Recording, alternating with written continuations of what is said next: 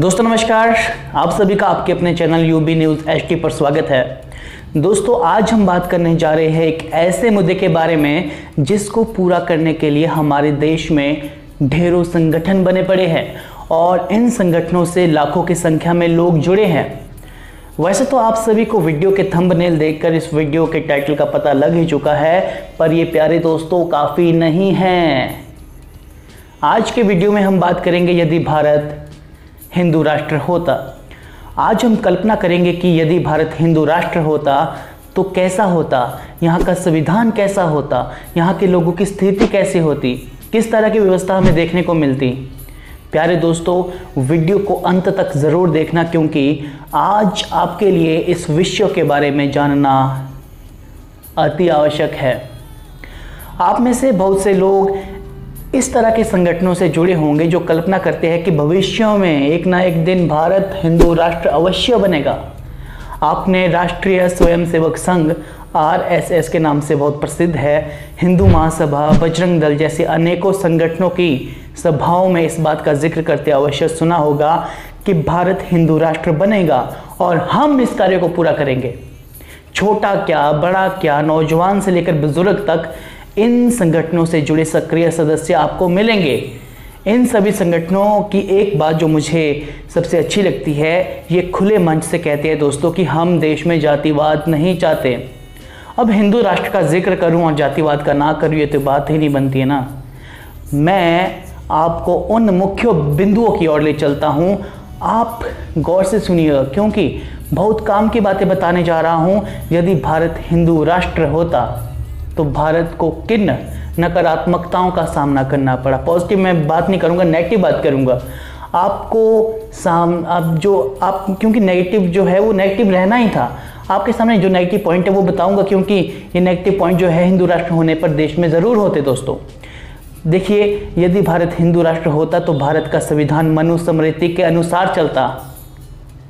यदि भारत हिंदू राष्ट्र होता तो यहाँ जातिवाद का बोलबाला होता। दोस्तों, यदि भारत हिंदू राष्ट्र होता तो आपकी स्वतंत्रता इतनी सी होती, सीमित होती। यदि भारत हिंदू राष्ट्र होता तो आपको आपकी जाति के मुताबिक कार्य करना पड़ता, जैसे चमार को चमड़े का, लोहार को लोहे का, कुमार को मिट्टी का, इत्यादि। आप बाकी काम नहीं कर सकते थे। यदि भारत हिंदू राष्ट्र होता तो शिक्षा मात्र ब्राह्मणों तक ही सीमित रहती, बाकी लोग अशिक्षित होते। क्योंकि मनुस्मृति आपका संविधान ये कहता, उसके अनुसार शिक्षा का जो अधिकार है, वो केवल ब्राह्मणों को ही है। यदि भारत हिंदू राष्ट्र होता तो शूद्र वर्ण के लोगों को नदी, कुओं, बावड़ी आदि से पानी पीना वर्जित होता। यदि भारत हिंदू राष्ट्र होता तो शूद्र वर्ण के लोग मंदिर में प्रवेश नहीं कर पाते। यदि भारत हिंदू राष्ट्र होता तो शासन करने का अधिकार मात्र राजपूतों के पास ही होता। यदि भारत हिंदू राष्ट्र होता तो महिलाओं की स्थिति बिल्कुल भी अच्छी नहीं होती दोस्तों। उन्हें पर्दा प्रथा, उन्हें सती प्रथा जैसी कुरीतियों का पालन करना पड़ता। यदि भारत हिंदू राष्ट्र होता तो देश की अर्थव्यवस्था केवल वैश्य वर्ण का इनका ही योगदान रहता और बाकी जो 80 प्रतिशत लोगों का योगदान है वो बिल्कुल ज़ीरो के बराबर रहता। जिस कारण देश की अर्थव्यवस्था सही नहीं होती, देश को भूखमरी गरीबी जैसी समस्याओं का सामना करना पड़ता। दोस्तों, और भी बहुत सी बुराइयाँ होती यदि भारत हिंदू राष्ट्र होता। अब बहुत से लोग जो हिंदू राष्ट्र के पक्ष में हैं, ये मेरे प्रति विरोध की भावना से सोच रहे होंगे। मेरे बहुत से दोस्त हैं जो पक्ष में हैं। ये सोच रहे होंगे, इनके मस्तिष्क में चला होगा कि अगर भारत हिंदू राष्ट्र होता तो ये सब तो होता ही नहीं, जो ये बंदा बोल रहा है, हिंदू मुस्लिम दंगे भी नहीं होते। होते भी कहाँ से दंगे? क्योंकि मुस्लिमों का तो भारत में कोई वजूद ही नहीं होता। भारत सोने की चिड़िया होता, भारत विश्व गुरु होता, और भी बहुत सारे तर्क इनके मस्तिष्क में होते।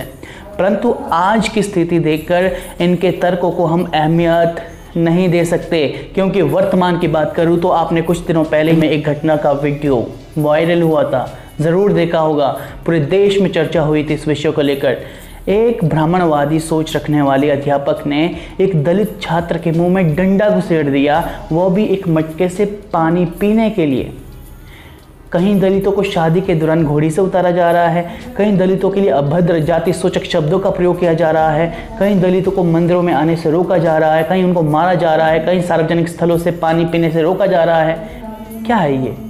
आप इस बात से अंदाज़ा लगा सकते हैं कि यदि अभी, आज, इस वक्त, इस तरह की घटनाओं को अंजाम दिया जा सकता है तो इतने कानूनों के होने के बावजूद भी अगर हमें ये देखना मिल, देखने को मिल रहा है अगर मनुस्मृति भारत का संविधान होता तो हम क्या अपेक्षा रखते? भारत यदि हिंदू राष्ट्र होता तो भारत में जातीय भेदभाव ना होता क्या? सभी लोग खुशी से रह पाते हैं क्या अगर मनुस्मृति होती नहीं? दोस्तों, यदि आप भारत के हिंदू राष्ट्र होने के पक्ष में हैं तो आप मुझे बताइए ऐसा क्यों? कारण लिखकर बताइए। मैं अपनी बात करूँ तो मैं भारत के हिंदू राष्ट्र होने के पक्ष में बिल्कुल भी नहीं हूँ।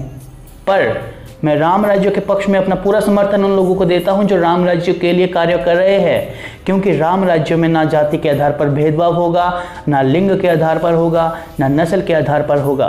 और राम राज्य ही एकमात्र ऐसा विकल्प बन सकता है जो वाकई भारत को ऊंचाइयों पर ले जा सकता है, जहाँ हिंदू, मुस्लिम, सिख, ईसाई बराबर हक से रह सकते हैं। दोस्तों, अगली वीडियो पटेल जाति के बारे में बहुत जल्दी आपके बीच आने वाली है। आज की वीडियो यदि आपको थोड़ी सी भी पसंद आई है तो वीडियो को ज़रूर लाइक करें। चैनल पर पहली बार आए हैं तो सब्सक्राइब करना बिल्कुल भी ना भूलें। आपसे मिलता हूँ अगली रोचक वीडियो में, तब तक के लिए मुझे दीजिए इजाज़त। धन्यवाद। जय हिंद।